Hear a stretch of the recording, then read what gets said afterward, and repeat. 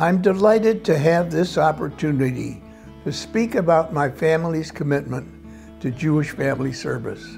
During my 69 years of marriage to my late wife Elayne, we always believed if you are Jewish, you cannot be indifferent to human suffering. This strong belief is what attracted us to begin contributing to Jewish family service.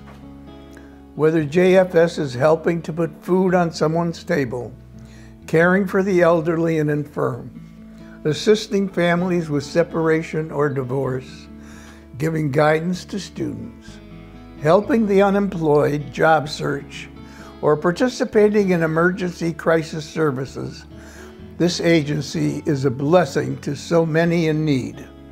I am thankful we're able to support the continuation of these services in perpetuity with our legacy gift.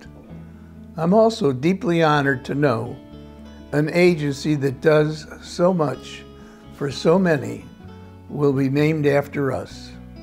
Of course, I wish I could be with all of you on this momentous occasion. However, at 92, in spite of my short-term memory loss, I've not forgotten that for me, at this time of year, it's just too darn cold in Connecticut. I'm grateful to all who have given to Jewish family service in the past.